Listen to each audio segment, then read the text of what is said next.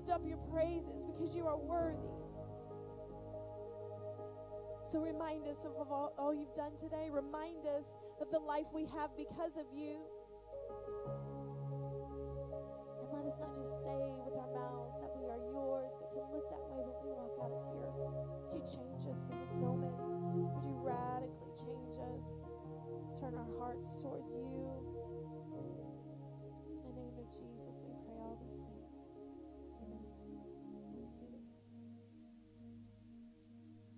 Amen.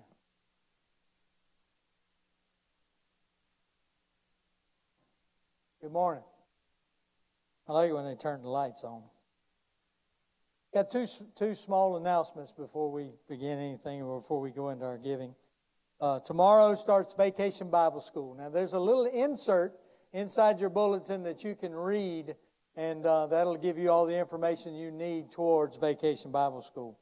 Also, on July the 9th, there's a, a ladies' meeting is entitled Simply Living as His from 1 till 4 o'clock in the small auditorium next door over here.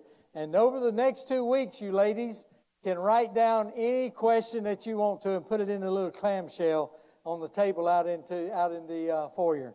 I made fun this morning in the first service saying that Sherry would probably write and put in there, "What the heck is wrong with Martin?" You know, so I, I think you can be as blunt and as honest as you need to be.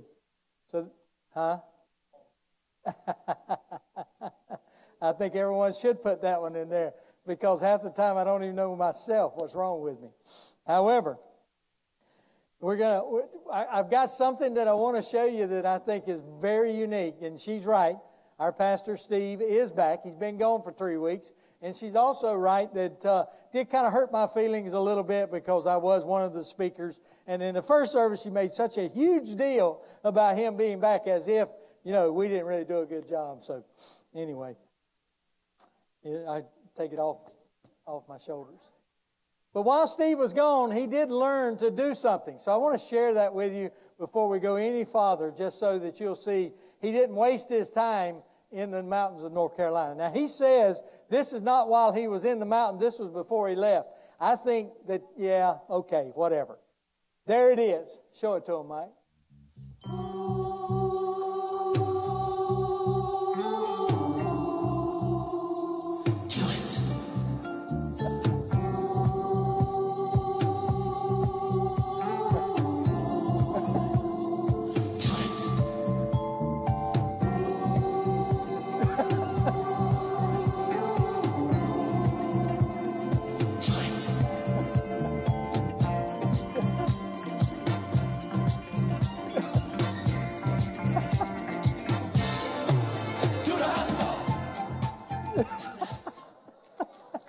yeah, you can clap. we, Jonathan sent that to me three weeks ago, and I, I, was do. I wanted so bad to play it then, but Bob and them wouldn't let me do it. They they voted me down. They want to wait till you came back. But uh, it is it's it's hilarious. Granted, uh, remember this: he will not be on Dancing with the Stars. I don't think that's going to happen. So, getting to the talk, we're, we're talking about giving. And I've got a scripture that's found in, in uh, 2 Corinthians chapter 9. Verse 9 says, As it is written, they have freely scattered their gifts to the poor, their righteousness endures forever. This is out of the same chapter where it talks about giving with a cheerful heart. Now, giving to me is something that God just allows us to do. In John 3:16 says, "For God so loved the world that he gave his only begotten son and whosoever believed in him should never perish, not perish, not suffer, but have everlasting life.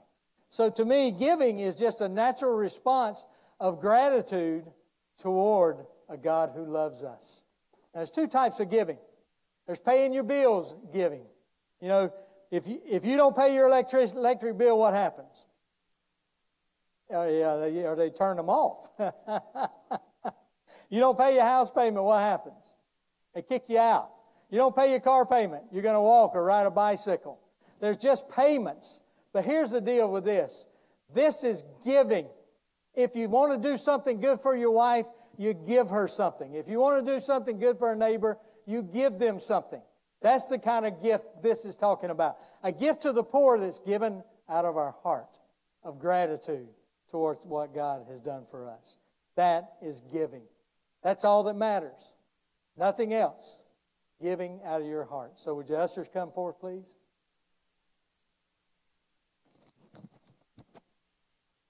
You remember one time I talked about how that I was at a church service and they put the, uh, the, the guys down here with one plate and everyone stood up and they were waving their money in the air. And if you'll remember, I talked about how that I gave my 120. I had a $20 bill in my pocket. I gave it the first time, not recognizing the fact that they were going to do this twice. So the next time that, that they did it the second time was for another reason, but I'd already given all I had. So all I had left, well, I did have a little bit. I had a quarter in my pocket. So I held up my quarter and I went up there and gave it. Did you know that they told me that you wouldn't believe how many quarters we got on that Sunday when I told that? So if you only got a quarter, give your quarter. But give it with a joyful heart. Proverbs 17 22. A cheerful heart is good medicine. So do what you do cheerfully. Let's pray. Father, I love you. I'm grateful, God, that you love us back and that you take care of us in every way. God, I've never given that you didn't take care of me. And when David said, I, I once was young, but now I'm old, but I've never seen the righteous forsaken, nor their seed begging for bread, that basically means you always take care of us. So we give to honor you and to help other people with gifts that you've given us to give to them. God bless this offering. Bless these folks that are giving as we give with a cheerful heart. In Jesus' name, amen.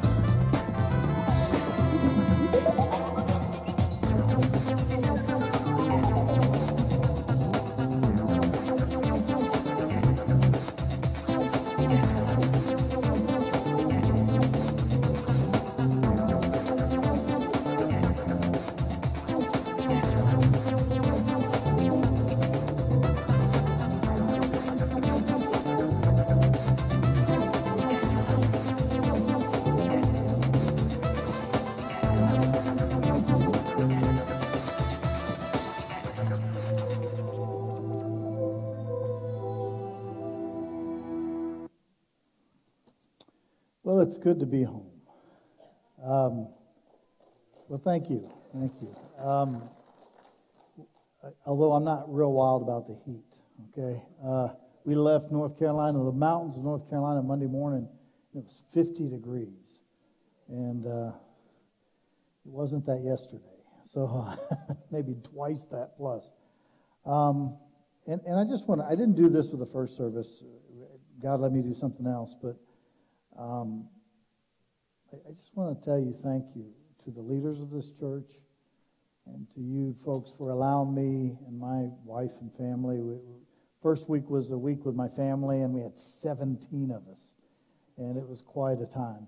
Uh, but then the next week we fasted and just prayed, and and God showed up in ways that I don't even. You know, sometimes when God shows up in my life, I don't know how to verbalize it. I don't know how to talk about it, and so I have to ask Him every week. You know, give me the words to say, and He kind of wrecked me a few times, and then resurrected me and wrecked me some more, and and. Uh, by the way, Jim, I want to tell you this. You had given me some CDs, I mean, some DVDs and man, that was kind of part of our teaching. It was incredible teaching uh, by the guy, uh, Rob Maston or something, I think his name. It was just, yeah, just incredible teaching. And God just did so many things in my life and heart. And so I want to thank you for that. Um, but I really believe that, that God, you know, kind of wrecks us and messes us up. And then he, he gets us in a position where we learn how to trust Him. We learn how to have faith in him. And you know, when we use this term faith, I think I don't think we use it appropriately. I think sometimes, you know, have you ever heard about people who go to, you know, faith healing services? When they go to faith, faith healing services, whoever was supposed to go to get healed didn't get healed. And the faith healer, uh, in his frustration, looks and says, Well, you just didn't have enough faith. And that, that um, brings to us the thought that uh, that faith is something we conjure up. or faith is something that we that we have to uh, you know just kind of you know you know just kind of grunt real hard and it comes you know? And it's not that. Faith is not that at all. Some people say well faith is about what i believe. Well it is about what you believe but it's not just that. Or some people say faith is about what i do. And it is, you know, the, the truth of the matter is, works, the word and works come, but they're a result of the faith. They don't cause the faith. The faith that you have to trust God, let me just say this if you've never thought about this, comes from God. God gives you the ability to have faith. Now, let me tell you what faith means. The, the Greek word is pistis, and it simply means uh, to, to, to trust or to rely on God's character. And that's hard to do sometimes. Have you ever been in a place in your life where you just didn't know what to do, and so you did something else? Yeah, you worked harder, you worked, you worked more diligently, and because you worked harder and you worked more diligent, you thought the faith would become stronger, but it didn't. You just got wore out. Ever happened to you? Um, faith is not about doing more. It's not about knowing more. It's not about what I do, and it's not about what I don't do. It's about what God does through you. And that's so important for us to understand. When we look at the book of James, uh, James was accused, by the way, of being kind of at odds with Paul, and that his, that his message was about, you know, works, and Paul's message was about grace. But when you read the book of James and when you, when you look at the context and when you look at what James was trying to say to these, these believers who had been scattered, many of them because of persecution, uh, and they were trying to figure out how to live their life, and they were trying to figure out how to get through the persecution, how to get through the difficult times, and they were trying to understand what James says when he says the trying of your faith work is, works patience or perseverance. They were trying to figure out how do we live, and sometimes, even though we may not be going through the persecution, we go through the same thing, don't we?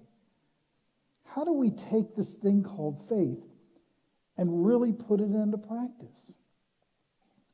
and let me tell you what the word faith is, is basically equal with the word surrender. Because faith is simply saying this I rely on the character of God Therefore, I obey the Word of God. I obey the Word of God in its written form. I obey the Word of God as the Holy Spirit begins to speak to me and lead me and guide me. And what we're going to find in our study uh, this morning is we're going to find that, that real faith, that real faith, is not something that, again, I conjure up or that I do, but it's something that's done in and through me. And we're going to we're going to you know look at that and see you know what God wants to do. Before before I do, I want to share something with you that I've shared with you before. It's kind of a process that we kind of live on and we stand on. And, and, and the sad thing about this is that even followers of Christ, even believers, they live this way. And when they live this way, they get very, very, very frustrated. And maybe you're one of them. And let me share with you what it means. What, what I mean. What I mean is that when when we come before God or when we come before ourselves and we and we and there's there's some deep needs that God has, you know, infused with every one of us. One of those deep needs is to feel worthy, that I'm worth something, that I have value. We, we just kind of want that. And then the other one is, which is kind of akin to it, is that we have a sense of belonging. You know, the, that, that drives about everything we do. Did you know that? The reason you go, you, you, find a certain kind of a, a, work. In fact, I've heard this said by like professional athletes who, who are, you know, playing football or something. They'll, they'll look back and they won't say, I remember all the Super Bowl wins. Uh, I remember all the touchdowns. They say, I just remember the sense of belonging, the sense of connecting. And we all are made with that. Well, that's kind of implanted in our DNA. We have this sense of belonging, but how do we get that sense of belonging? We do it like we do everything else in this world. We think we can do it ourselves, right? So when I say competence, I mean, you know, what we do well. Uh, things, you know, it, can be many different things. It can be the abilities that I have, the, you know, the, the money that I have, the, the influence that I have, the accomplishments that I've done, all of these things that, you know, the way that I look, the way that I, you know, the, you know, if my parents have money, you know, or whatever, and all of these things together will say, this, this, if I do all these things, I'll get this. Does this make sense? If I do all these things, I'll have self worth. You know, if I look good enough, I'll have self worth. If I have enough, I'll have self worth. If, if, um, if, if people like me enough, I'll have self worth, and therefore I belong. And that works okay as long as this is all in order. But let me tell you what happens in life. And you know this, and I know this. Not everything works out, does it? Not, we don't always get, you know, sometimes somebody works at a job and they work for many years and all of a sudden they get pink slip. And all of this comes crashing down. Professional athletes have a problem with this because, you know, when they're, when they're, especially the superstars, you know, they make all the money and they, they're in the limelight, but when their career is ended, many of them go into deep depression. Many of them file bankruptcy because they're, fi- they're trying to find a way to get this which will bring this. And so, and so many of you today, one, the reason, and you're a follower of Christ, you're a believer in Jesus Christ, and one reason why you fi- feel like you're, you don't fit in anywhere, you feel like you have no value in your life, is because this has come crashing down. And when Jesus Christ comes into your life, he, he tells us that this is not the way we're to live. Now, here's what happens God gives us this wonderful thing called faith. And, I, and as I said earlier, faith is relying on the character of God, believing the Word of God, and doing the will of God when He says do it. So God says faith will turn this around. So here's what happens when you become a believer in Jesus Christ. This is exciting. Jesus died on the cross and he shouldered your sin, he shouldered my sin, and he said, You were, Paul says this, you were bought with a price that you're no longer your own. Here's what he says, but you are mine, basically. Your body, by the way, we, we don't uh, have a soul, we are a soul that has a body, as C.S. Lewis says. But so God comes into your soul and he takes ownership. And he says this You belong to me. You are no longer your own. You have been bought with a price, 1 Corinthians 6, 19 and 20. You no longer have any ownership, but I own you, but you belong to me. And here's what happens when we understand that we belong to Him, God gives us this thing called self worth. Our worthiness is not found in ourselves and our abilities and what we have and who we're related to and how we look or any of that. Our worth is found in the fact that we belong to Jesus Christ. Now, what should be the natural outcome of that? Not competence. I've said it was before, but that's not true. The national outpour of belonging to Christ, uh, feeling the worth that He infuses within us, is worship. So, what does that mean? That means in everything that I do, I'm saying, God, you are first. God, because I belong to you and you give me value and you give me wor- worth, whether I'm, whether I'm working, whether I'm cleaning my house, whether I'm paying my bills, in every area of my life needs to be the area of worship, an area of faith where, where we say this God, I depend on you. I'm going to do what you say no matter what. I'm going to follow you no matter what. It may not look like it makes a whole lot of sense to everybody else. And quite frankly, those of those people who don't know Christ, they'll look at a believer who will do some, you know, practice their faith and they'll say, that's foolish. Because the Bible says that the natural man receives not the things of God. And that, and that sometimes what believers do in their faith and trust in God looks on the surface as foolishness. But let me tell you this every person I've ever known who fully relied on the character and the word and the will of God, listen to me, have the peace of God and the contentment of God. And in just a few minutes, I'm going to share with you how you get there, what it really means, and use a word that maybe you hadn't heard in a long time. Turn your Bibles, if you would, to the book of James.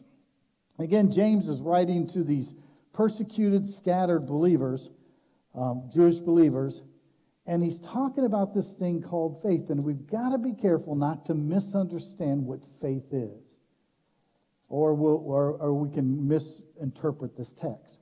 So in James chapter 2, starting with verse 14, here's what he says. He says, What good is it, my brothers and sisters? He says he's talking to those who are uh, followers of Christ, those who are in faith with him. He says, What good is it? He says, If someone claims, that's an important word, if they say or they claim to have faith, but have no deeds. In other words, if people say I'm a follower of Christ, but there's no evidence in their lives, then, then is this basically he's saying, is this faith real? He says, Can such faith save them? Suppose a brother, and he gives us an example. He says, Suppose a brother or sister is without clothes and daily food. We see somebody in, in deep need, in other words. Verse 16 If one of you says to them, Go in peace, keep warm and well fed, but does nothing about their physical needs, he's saying, What good is it? I mean, what good is your faith? And then he says this In the same way, faith by itself, if it is not accompanied by action, is dead. Here's what he's saying faith that doesn't work, faith that doesn't, that, that, that, that doesn't move from the inside and work on the outside because of what God's doing in that person is, and he uses this term, dead. It's not alive. In other words, it's really non existent. It's really non existent. And then he says, he says, verse, verse 18, but someone will say, You have faith and I have deeds. And he says, Show me your faith without deeds, and I will show you uh, my faith by my deeds. And that can be translated out of my deeds. He says, and then he, here's what he's saying He's saying, If you say you have a faith and nothing's changing in your life, I've got reason to question. He says, But if I'll show you my faith, and if my faith is real, it's more than just what I believe, it's more than just what I say, it's who I am, it's how I live. And notice what he says next. He says, he says, um, you believe that there's one God. Everybody here believe that? Believe there's one God. He says, good. Would you read this next part with me? I've missed your reading. You guys are so good. Okay, here we go. Here we go. Uh, let me find it again. Okay. Even the believe shudder. Wow. Another translation says, even the, the demons believe and tremble. In other words, if all you do is say, I believe this, or even if in your heart you believe it, but, but you don't allow the Word of God, you don't allow the will of God, you don't allow the power of God to work through you, here's what he's saying. He's saying you're on the same level as the demons. Because the demons believe. Listen, you know who knows about Jesus Christ in more detail than anybody else? Yeah, demons. Demons, Satan. They know who he is. They understand who, what his power is. And I could go into a different text where they would say, when Jesus would show up, you know, you know, you are Jesus, the Son of the living God. We know who you are. Whereas a lot of believers, sad to say, don't even really know who he is. And then he goes on to say this. This is, it gets better. He says, You foolish person, you, you do, excuse me, do you want evidence that faith without deeds is useless, or that could be translated dead? Verse 21 Was not our father, and he uses a character, in fact, he uses two characters here that we're going to talk about. He says, Was not our father, Abraham, who's the father of a Jewish nation, Abraham considered righteous for what he did when he offered his son Isaac on the altar? He says, You see that his faith and his actions were working together, and his faith was made complete by what he did. Let me explain what he did. Okay? And this is important to get. What did Abraham do that was accounted for him as righteousness? God came to Abraham, and here's what he told him to do. He says, Abraham, I want you to take your son Isaac. Now, let me just tell you a little bit about Isaac. First of all, it was his only son. Sarah gave birth to him when she was about 99 years old. That's, this is a miraculous son. He was a promise of God. God said, I'm going to, in your seed, in this son, I'm going to produce a brand new nation. It's going to be a nation where they will love me and follow me. There's going to be a nation that's going to be close to my heart. And so now God comes to Abraham one day and he says, Abraham, I want you to take that promised son. I want you to take your own, you know, this, this son that I've given you, and I want you to take him on the mountain and I want you to sacrifice him. Now, that sounds absurd. And, and quite frankly, to understand Jewish law, to human sacrifices were not allowed. Okay, just so you know. And here's what Abraham did he was willing to follow through because he, get this, he relied on the character of God.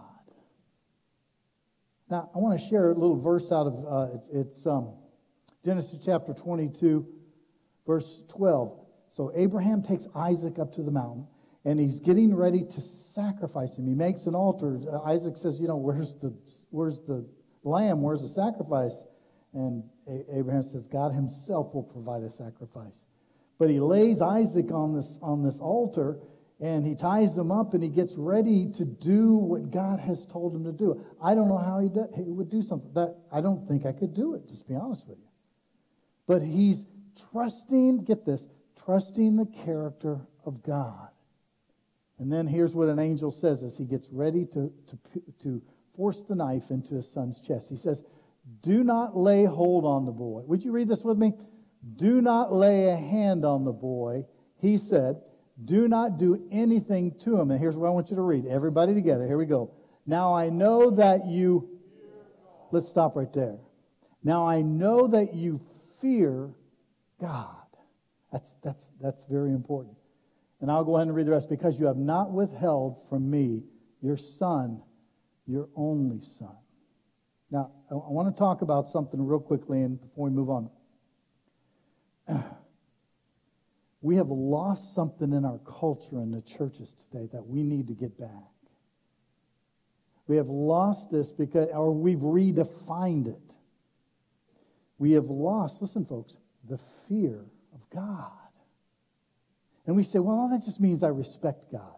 Well, it does, but it means a whole lot more than that. When you look up that word fear, it means to tremble before. And here's what it means it means that I fear disobeying God, and I fear the consequences of disobeying God more than anything else. I fear disappointing God more than anyone else. And Abraham said this was where his faith came in, because remember this, you may want to write this down. The fear of God is the beginning, the fear of God is the beginning of faith in God. It all it begins there. Now, we use the term fear, and a lot of people, when we use the term fear, they, um, they, uh, uh, they think that, you know, when, when you say fear, that all fear is bad. All fear is wrong. Let me ask you this Is it wrong to get angry and hurt somebody? Yeah, sure it is. But is anger wrong? All of it? Of course not. In fact, there's some good things that come out of when somebody gets angry about something. I think MADD Mothers Against Drunk Driving. You know, they got this lady got mad, and she she started an organization to do something that was constructive. So all our angers got mad. Let me ask you this question, and, and listen, follow through on this: Is discrimination bad? No. Now, if I discriminate because somebody of a, of a color of their skin or their, their economic position, or and that, that's wrong, obviously. But if I told you, if you if somebody said, would you allow your child to go play in this house over there where there's a convicted pedophile? Would you let your child go? Because you would practice discrimination. Okay, so discrimination by itself isn't a bad thing. It's how it's used which makes it bad. Is fear bad? Some of it is. But let me tell you, the, if you're going to have, if I'm going to have a faith in God, it's because first I have a fear of God. Let me put it this way. I, I kind of wrote it down and, and, I want to read this to you. If I fear the consequences of dis- disobeying God, then I will not the fear the consequences of disappointing others. Let say it again. Let me say it again. If I fear the consequences of disobeying God, then I will not fear the consequences of disappointing others. Some of us, we have all kinds of phobias. That's what I mean, fear phobias, don't we? And God says you only need to have one. Because here's the truth when I fear God, I don't have to fear anyone or anything else. And when I, when I was a kid, you know, I loved my dad dearly. I loved him with all my heart. But I feared disobeying him. Because I knew that if I disobeyed my dad, who I love and got close to, but if I disobeyed my dad as a kid, that I would have to pay consequences I didn't want to pay.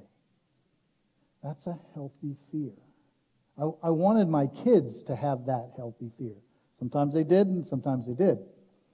But when we have a healthy fear, it helps God to create in us a healthy faith.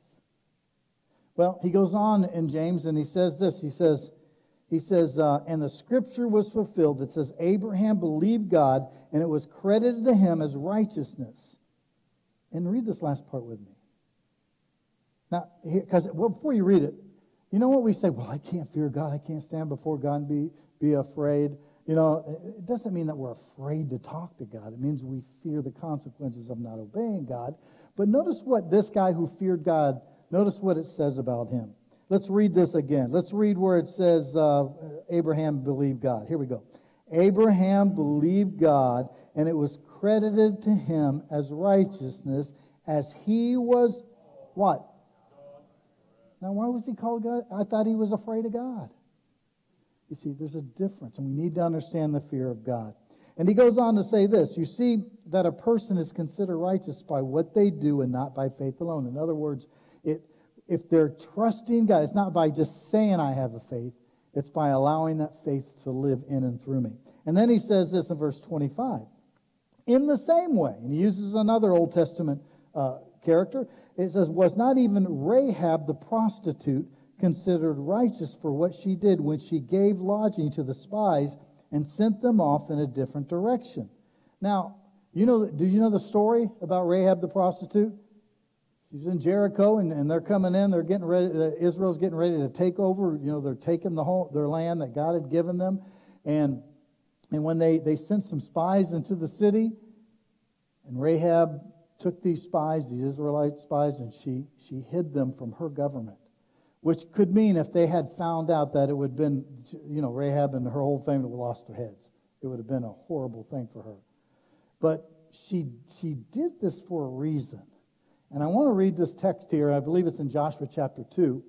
And I want to read this here. It's going to come on up here. Okay? And, and you don't need to read with me. Just kind of follow with me on this. Okay?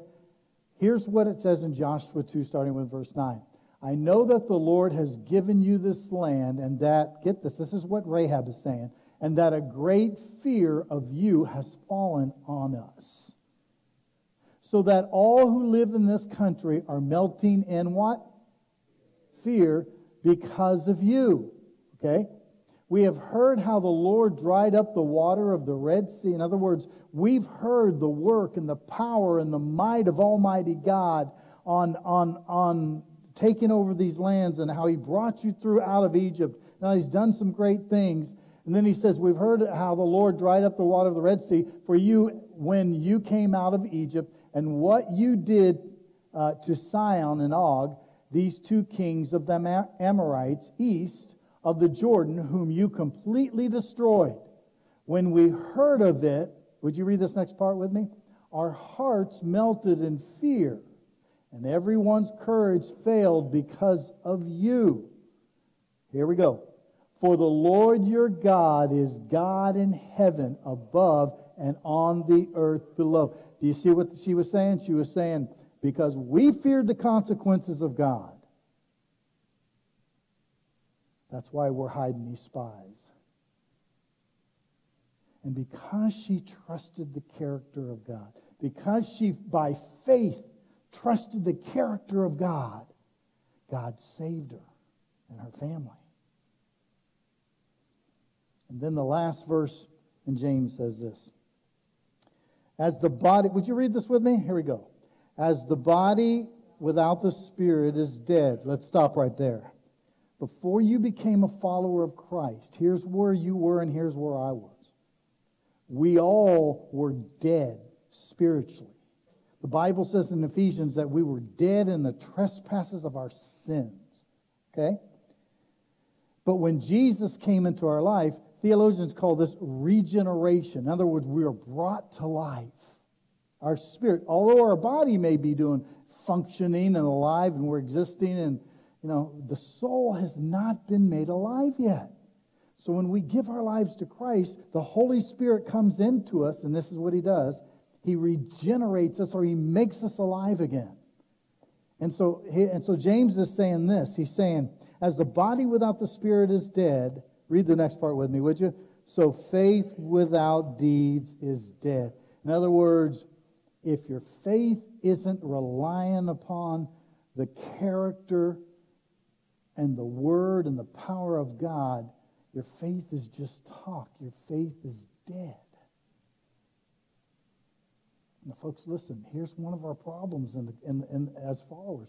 We're not, we're not allowing God to fill us with his faith so that we can rely on his character and rely on his word. Because you know, you know why? Because God sometimes will move us to do things that are just off the wall sometimes. Now, he's not going to have you sacrifice your kids or anything, that was a violation of the laws. He's not going to ask you to do anything like that. But are we willing to do whatever he asks us to do? Are we willing to give whatever he asks us to give? Are we willing to go wherever he asks us to go? Every time we go to Ethiopia, you know, uh, we, we had a couple guys go. Troy and Bill went last time. And you could tell those poor guys were just as, before they went, you know, making the decision to go, those guys were just as nervous as they could. But you know what? Bill and Troy both said, God's telling me to go. God's telling me to go. And both of them said, I'll, I'll obey you, God, as much as I'm a little apprehensive. Don't know if this is a good thing. Don't. And Bill, did it change your life? and it will change your when you obey not just go to ethiopia wherever he tells you to do and sometimes the things he's going to tell you are not going to make sense humanly speaking But you got, but our, our place, folks, is to say, I'm going to trust the character of God no matter what. When you do that and I do that, we become change agents for God. He can use us to make an impact for his kingdom. And some of you, listen, some of you that are believers, if you're not a believer, you're, you're saying, boy, I just need to become a believer. And that's true. If you, if you are a believer, the reason why you're so frustrated is because you're trying to live the life that God wants you to live in your own strength, wisdom, and power. And that, and that just doesn't work. Listen, I have become a, a victim of my own best thinking too long. You know, have you ever, how many here, don't raise your hand, but how many have ever tried to do the work of God in your own power? I'm going to ask the Dr. Phil question. How's that working for you? That doesn't work. But when we when we do the work of God, when we serve this incredible God, when we become let me say it this way, when we become the work of God, our faith, you know, the Bible says without faith it is impossible to please God. Listen, because he is a rewarder of those who diligently seek him. I heard a famous um, a famous uh, speaker was talking to a Muslim who had received Christ into his life. He came out of the Muslim religion, and he was asked to give his opinion on the Christians, basically in America, or, American Christians. And he, he says, Well, let me draw two circles. So he draws two circles, and he puts a dot in the middle of these circles. Go ahead and put that up, Mike. Okay? Here's what he says He says, When I look at Christians today, I see that here's their life it's kind of all over the place. And here's their faith. He says, when I was in the Muslim faith, he said, this was their faith. And that dot represented their life, their wants, their desires, their dreams, their existence. He said, the Muslim guy who converted to Christianity, became a believer, said, We've got something wrong in the Christian faith. Jesus said, I am the way, the truth, and the life. Jesus said, I have come that you might have what? Life and have it more abundantly. And most of us, and, and, and most of us are living in our own existence. And we're not trusting God. And God says, that's why you're missing out. You're, you're trusting in your own best thinking. You're trusting in your own cultural standards. You're trusting in your own feelings and emotions, and you're not trusting in the, in the character of me, God says. Here's where we need to be, where our life is all about, and that's where I want to be. You know, I just tell you personally, this is where God kind of laid up. I want to be here. And that, you know, all my desires and all my dreams and all my wants need to be like nothing. I want to be like John the Baptist who said, that I might, dec- that I might decrease so he would increase. While I was gone, I, um, I just prayed, God, what, what do you want to do in my life? Now, a few years ago, I said, God, I'm, re- I'm ready to resign and do whatever, uh, you know. He said, I don't want you to resign. I want you to follow me. He says, I want you to resign to yourself. And so here's the three things that God gave me the last two, three weeks. Um, first was that I'm just too stinking selfish. I'm just all about me.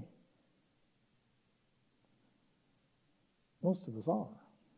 That's kind of our in our DNA. It's kind of in our nature. We're kind of self-centered, aren't we? We want what's comfortable. We'll serve God as long as it's comfortable. We'll, we'll have faith in God as long as it's not too inconvenient. You know, and I and I wanted to say to God, I don't not listen, I'm not saying that you go out and just beat you. Now there are people who beat themselves up and all. I'm not saying that. I'm saying I want to get rid of whatever I have of myself that gets in the way of Jesus Christ. Because listen, how can I expect you to do that if I'm not doing it? I can't. How can I expect you to follow me as I follow Christ if I'm not following Christ and giving it all to Him? Second thing that God said, uh, really in direct relation to that, was just be obedient. Just do what I say without trying to figure it all out, without trying to rationalize it. You know what rationalize is? It's a rational lie. Okay? try to rationalize it, try to figure it out. Just believe me, even when it doesn't make sense, even when it's going to cost you, and even when it's, you know, just doesn't feel right. Don't let your feelings be your guide. And the third thing was what I just shared with you a minute ago that I need to under, re, understand and I need to reaffirm the fact that I'm living under the fear of Almighty God. That I fear the consequences of disobeying Him more than I fear the rejection or consequences of disappointing somebody else. We need to live for an audience of one. Listen, folks, when we begin to live that kind of faith, we begin to really live life. The other we don't. We're just trying to we're trying to grasp God in our existence, and it doesn't work. But when we when we say, God, I have faith in you. I am relying on your character. I am relying on your integrity. I am relying on your word. And I'm going to follow you no matter what anybody else thinks or what anybody else says or what anybody else does. I'm going to follow you. And when that begins to happen, God begins to be able to use us to make an impact on our family and our children you know, you, you know, one reason why, you know, and I and I regret this. I want my kids to follow Jesus Christ fully, and they will not if I'm not. Even as an adult, they're watching, and your kids are watching you. And I made some big mistakes, and I'm and I repent. And I said, oh, God, please change my heart. But God wants to do something in you. Would you bow your heads with me? Maybe you're here today and you've never received Christ. And you feel a tug at your heart. and You feel a pull of the Holy Spirit who's saying to you, Come to me. And you need to receive him right now. With every head bowed and eyes closed. Um,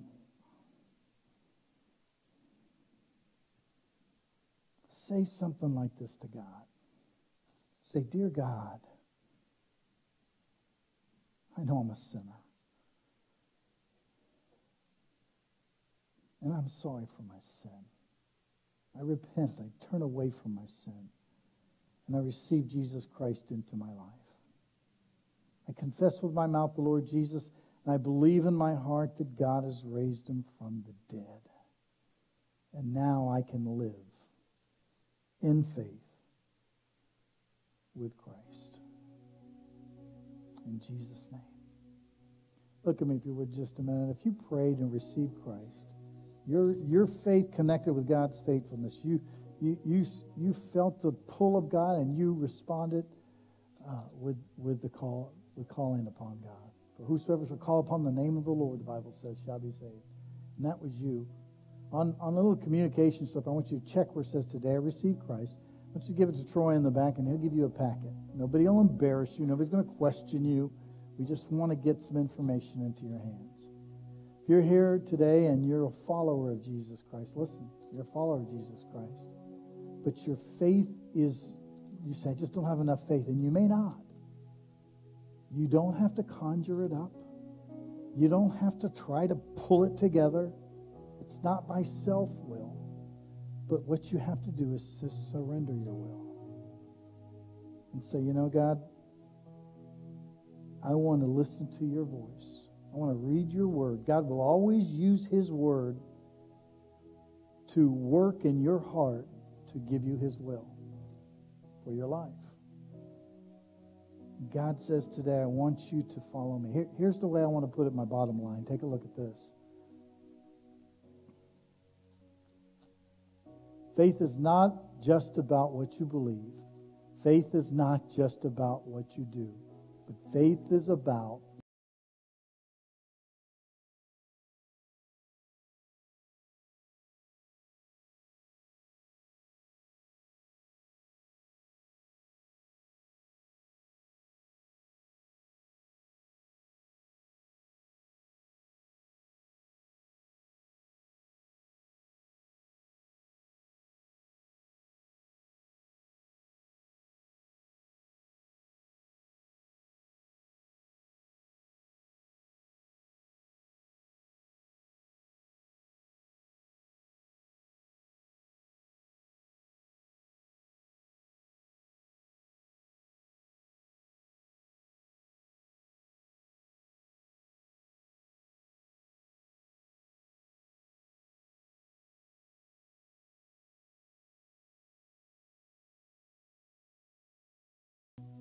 your way.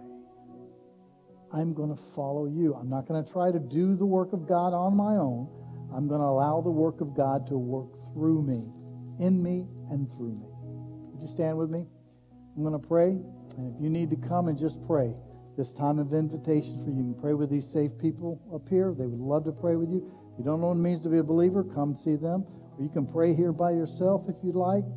But if God's Spirit's moving on your heart, please don't just stand there.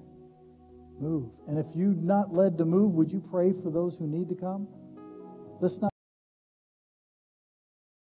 say, okay, God, this is your time. I surrender these next moments to you. You do in me what you want to do. Father, I pray you'd work in your church as only you can. Move on the hearts of people. In Jesus' name we pray. Amen. Won't you come as we.